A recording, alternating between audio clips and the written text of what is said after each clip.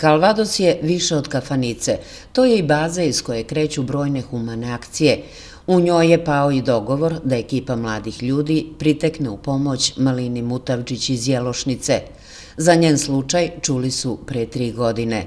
I nas par drugara, eto, na inicijativu Ivana, ovaj, vlasnika Kalvadosa, smo prikupili neke novčane, malo novčanih sredstava, malo što bi se reklo, kućnih potrebština i uputili se da se i sami uverimo u kakvim je, da vidimo sliku.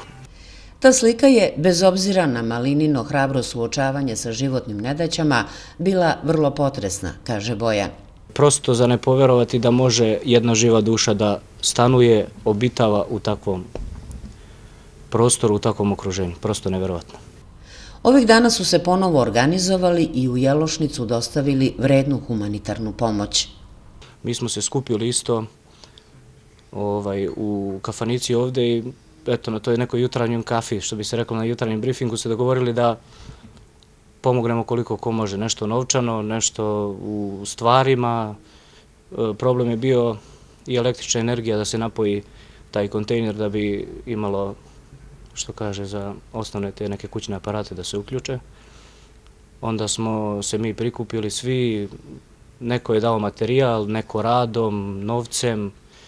Uglavnom, nas desetak, petnaest je napravilo neki dogovor, uputili se tamo, odneli smo krevet, sudoperu, ormar, televizor i tako neki frižider smo isto ovaj, nabavili i kupili, tako da nešto, ono što bi se reklo najosnovnije da ima za početak. Malina je od društva iz Kalvadosa dobila i nove gumene čizme, jer su se stare probušile. Kao i prethodnih godina, za njenu kravu Milku obezbedit će 50 bala sena. Pomagali su i komšijama u Kraljevu i Trsteniku, obezbeđujući im humanitarne pakete i medicinska pomagala. To je i tužno malo što imamo ljude takve kojima je potrebna i neophodna pomoć. Radili smo dosta tako nekih humanitarnih akcija, tako da bitno je da nas ima još dobrih i poštenih i nas malo što vidimo šire, što bi se reklo. Krajem decembra u Kalvadosu je organizovan humanitarni ručak. Spremili su kupus u zemljanom loncu. Cenu jela određivali su gosti kao donaciju. Bili su široke ruke pa je prikupljeno 30.000 dinara. Ivan Dašić je dodao još 15.000 iz pazara Kalvadosa. Prvi iznos je uplaćen na račun male Nikoline za operaciju u Turskoj, a drugi je dat za nastavak lečenja 12-godišnjeg Damjana iz Trstenika. Da li će ponovo spojiti ukusno i humano? Biće, Naravno, i to se. Planiramo i to, tako da obavetit ćemo vas na vreme.